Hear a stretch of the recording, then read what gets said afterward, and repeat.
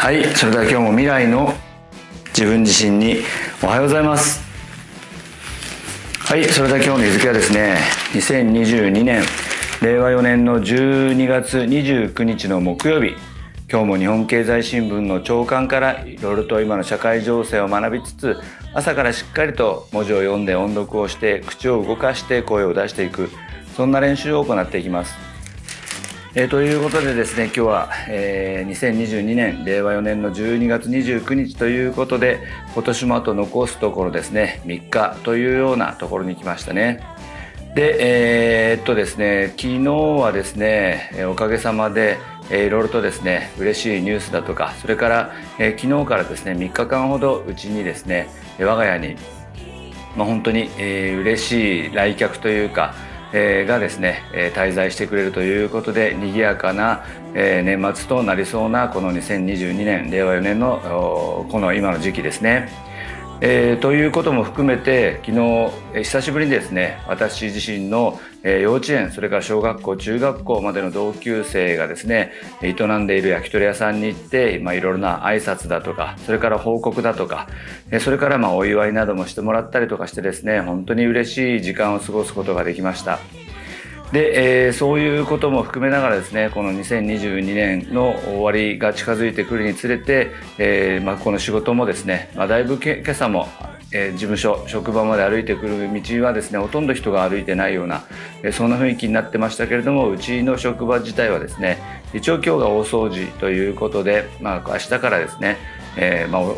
この年末のお休みということになるわけですけれども個人的にはですねまだ明日もう少しやることが残りそうかなというところですけれども穏やかな年末となりそうな感じがしてですねこの、え今の時期のこの雰囲気というものもですね楽しみながら日々を過ごしていきたいなというふうに思ってます。で新聞の報道によるとこの12月29日はですね秋篠宮家の佳子さまの誕生日ということだそうで確か28歳という年齢だったと思いますけれども、えー、お誕生日おめでとうございますということですね。まあ、ということで自分自身のこの新聞の音読も年内は今日が最後になりそうなので今日もですね、まあ、あまりいい記事というか、えー、このめでたいようなニュースというものが少ないのがまあ報道の特徴ではありますけれども、えー、今日もですねしっかりと自分なりに音読をして、えー、今日という一日を過ごしていきたいなと思います。え、でまずはですねいつものように昨日の日経平均株価の終値を確認しておくと昨日の日経平均株価の終値は2万6340円50銭2万6340円50銭ということでおとといに比べるとマイナス107円37銭マイナス107円37銭ということで、まあ、本当に力がですね弱々しい感じの動きがついてますね。でエンドル相場については1ドル133円91銭から93銭1ドル133円91銭から93銭ということで、えー、一昨日に比べると1円4銭安1円4銭安ということでこちらもですね円安に、えー、の方向に触れたまま年末うん終えていきそうですね。で今日のですね音読の題材1つ目に取り上げたい記事については社説の1つ目からですねタイトルは「企業の不正を許さない組織づくりを徹底せよ」ということで社説ですから、まあ、厳しい指摘をですね繰り返しながら年末を迎えていきそうですけれども、まあ、これも今の社会情勢の一つとして私たちもですね来年に向けて、え、自分たちがまた一段と飛躍していけるように厳しいことは厳しいこととして受け入れながら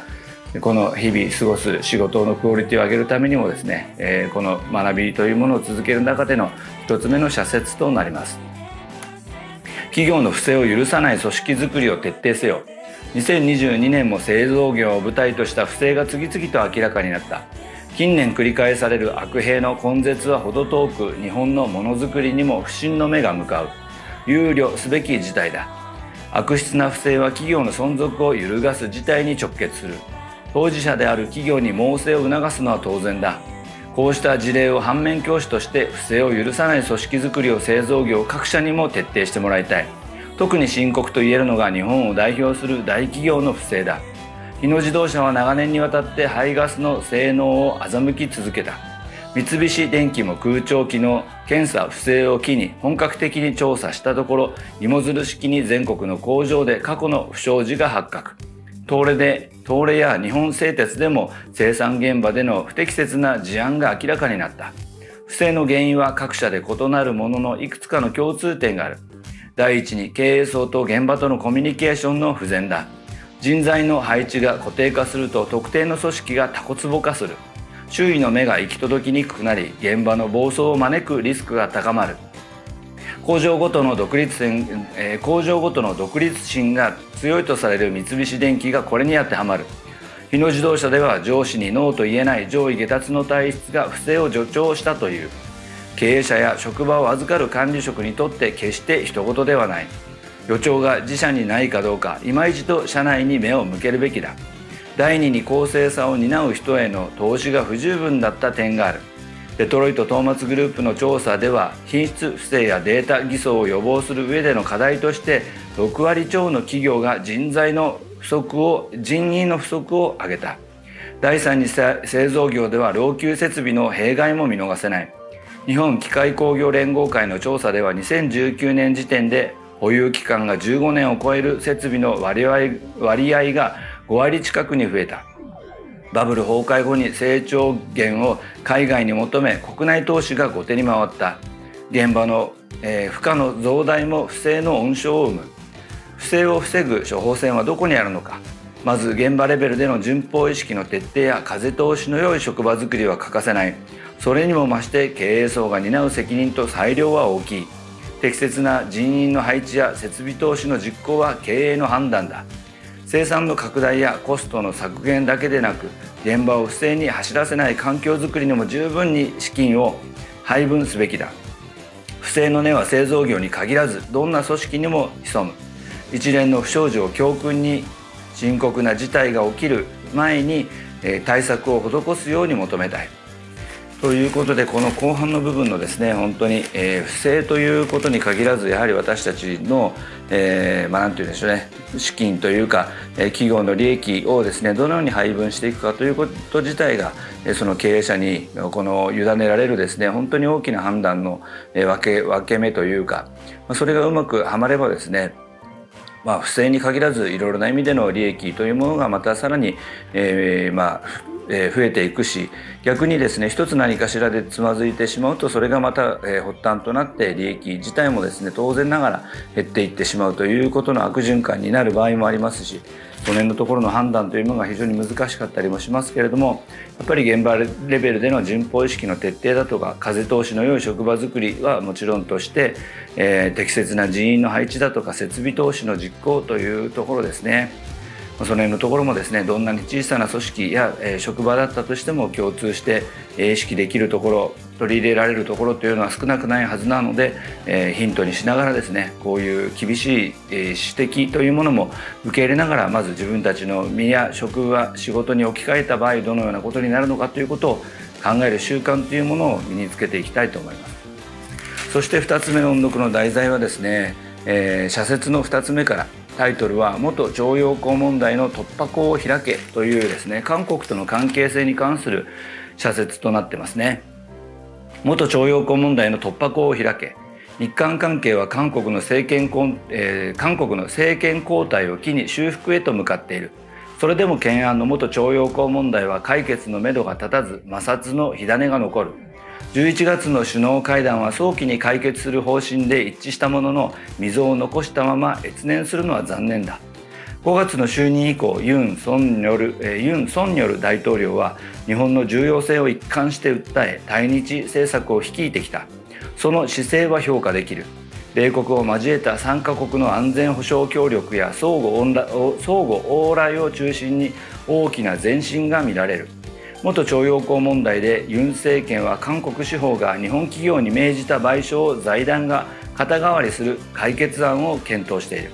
1965年の日韓請求権協定に伴う日本の経済支援で恩恵を受けた韓国企業だけでなく日本企業にも自発的な資金拠出や原告が望む謝罪を期待している。その一方で日本政府は賠償命令が国際法に反した判決であり韓国側が解決すべき問題だとの立場を崩していない。日本企業も国家間で解決済みだとして、え、主張している。韓国で差し押さえられた日本企業資産の現金化手続きは両国間の外交交渉が進む中で一時的に留保された状態になっている。ただ来年の前半にも現金化されるとの見方も残っている。そうなれば改善ムードは一気に暗転しかねない。問題の先送りは危うい。両政府間には韓国向け輸出管理を強化した措置や韓国艦船による自衛隊機へのレーダー照射など懸案がいくつも残る。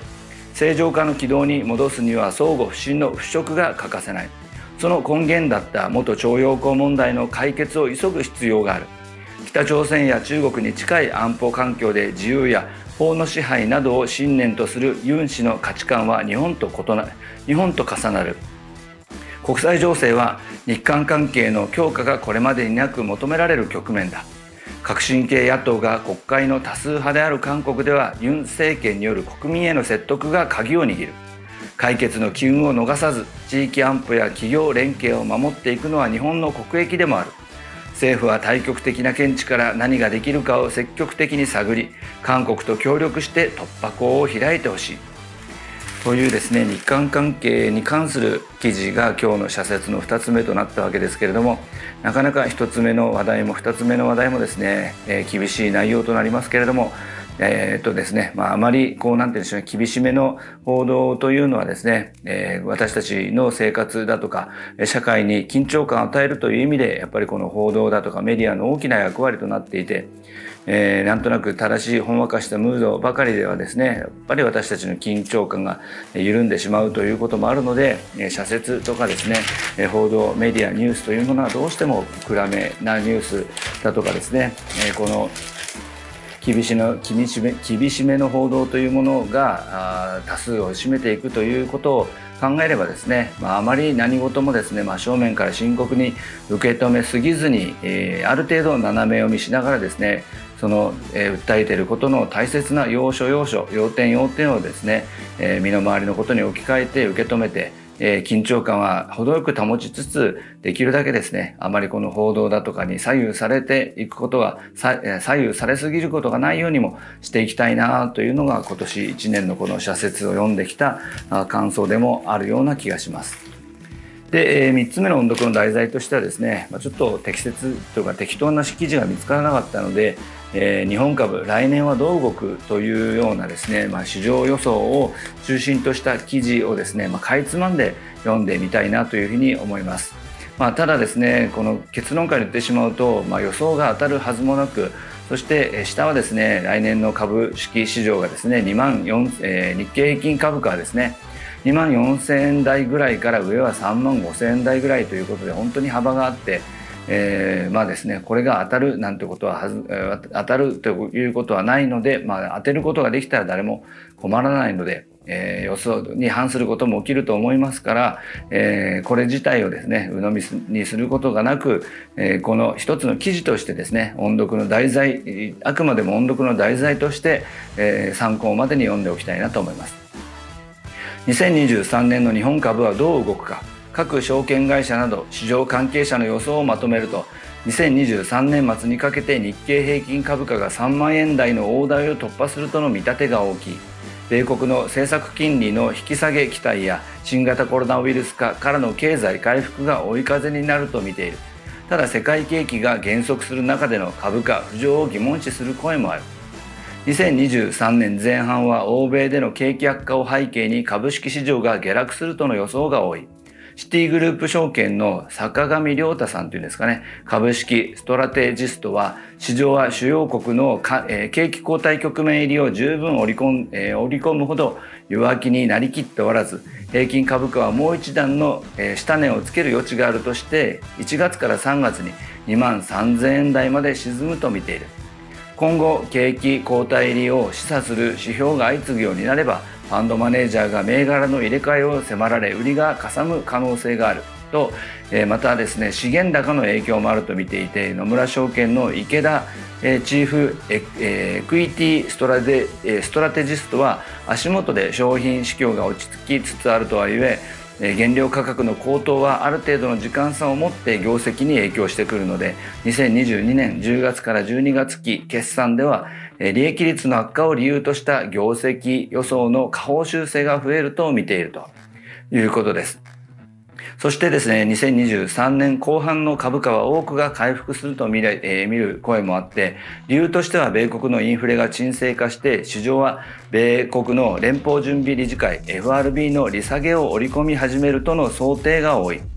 欧米景気に比べて相対的に底堅い日本経済に期待する関係者もいて、日経平均は年末にかけて3万4000円まで上昇すると予測するような専門家もいらっしゃるということです。実際に製造業を中心とした業績の底堅さが、えー、裏付けになるとの見方はあって、2022年に、えー、半導体不足の影響で減産を余儀なくされた自動車などは部品供給が改善することで生産が回復するとの期待も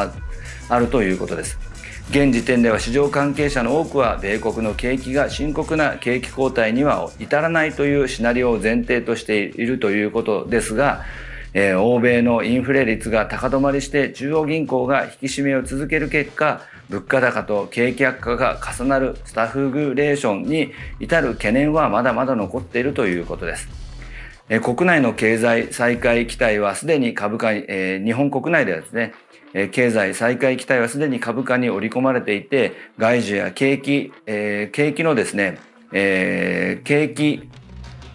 間の感度が高い業種が弱含みするとかですね持続的な株価の回復を望むのは早計だという考えもあるということで2022年の株式相場は地政学リスクの高まりや急速な利上げなど想定外の事態を受けて大きく下落していると。